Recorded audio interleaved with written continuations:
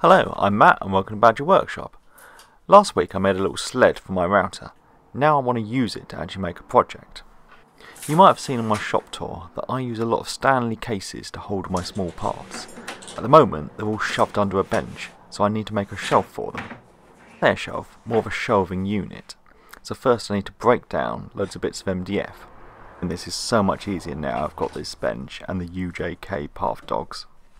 I can line the board up against a couple of dogs, then line the track up on a couple of dogs 90 degrees, and then just run the saw along it. This is a project I've needed to do for a while. I've been putting it off because it's so hard to cut down big sheets. A circular saw is just not accurate enough, and the table saw doesn't have the capacity and would be a bit dangerous. Stanley cases come in two depths. I have more of the shallow ones, so I'm going to make the first lot of units for those. So to work out the spacing, I take a unit and then put a bit of wood that's going to be the shelf on top. You can see I've cut this bit of wood as a template, leaving a little bit of space so I can pull the trays in and out. I then use this template to mark up the sides of the unit. If I was using the track saw, I could just cut along these lines as the cut is made at the edge of the track, but the router doesn't work like that.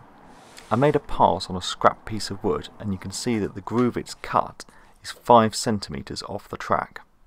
I went back to the lines I'd previously drawn and with a piece of wood cut to 5 centimeters, I drew another line that's 5 centimeters off the first one. Now, there's probably an easier way of doing this, but this is my first time using it. And if I was using the same router bit each time, I could just draw a line on the router base and I would know that it was 5 centimeters off. But doing things for the first time is always a learning curve, and I'm sure I'll come up with a better way of doing this. So to make the pass, I just set the board up the same way as I was making a cut, using the dogs and the clamp to hold the board in place, and then the dogs and the fence at 90 degrees. So if all my measuring works out, the track is on the second line I've drawn, and the router bit will actually go along the first line I've drawn. And it did, it actually worked really well. I ended up using the jig exactly how I intended to, one hand on the router, keeping a finger on the power button, and the other hand on the handle of the jig. I actually used the handle on the jig to keep it on the track, and that to actually push it along. I had the extractor attached, but it never does a good job with the router, and it makes quite a lot of mess. For each pass I had to come back and hoover it out.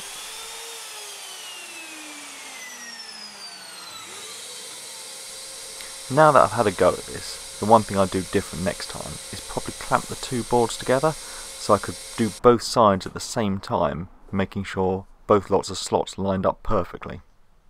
But as this was my first go with the jig, I wasn't feeling that ambitious and thought I'd take it a bit slower. I did have a little dry fit first off camera. I wasn't that confident in my work that it would all fit. But everything went fine, so time to get it together with some glue.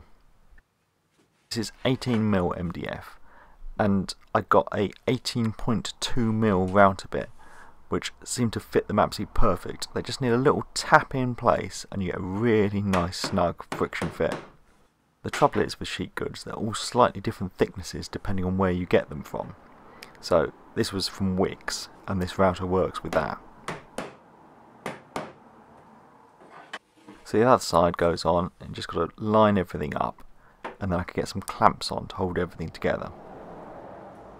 I'm not going to use any fastenings at all on the shelves they're just going to get glued and go into these little dados.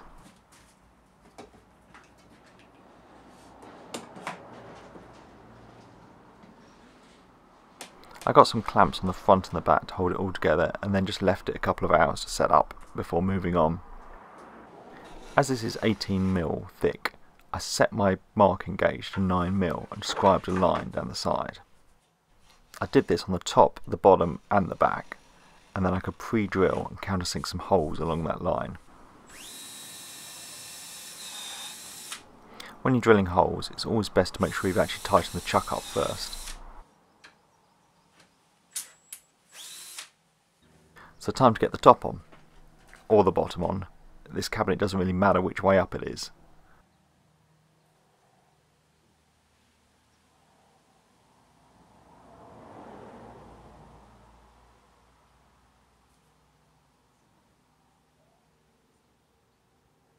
One thing I should have done differently is I pre-drilled the holes in the top or the bottom, but not where they went into the sides, and at the ends you could split it.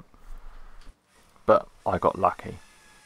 Again, always make sure the bit is tightly done up in the drill. It's not that difficult.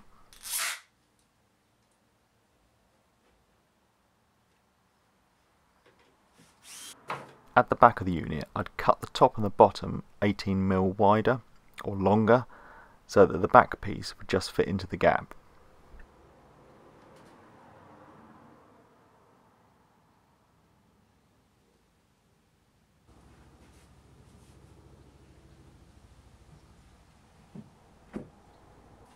This time I was more sensible and drilled the pilot holes through both pieces.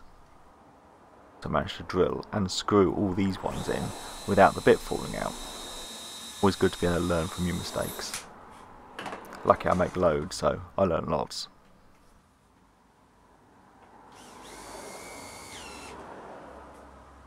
That's it all done. I think this is going to be one of these projects I will think, why did I not do this years ago? It can make my life so much easier. I'll put a link down below where I got the system for the bench and all the hardware for it. Thanks for watching, and please subscribe for more videos.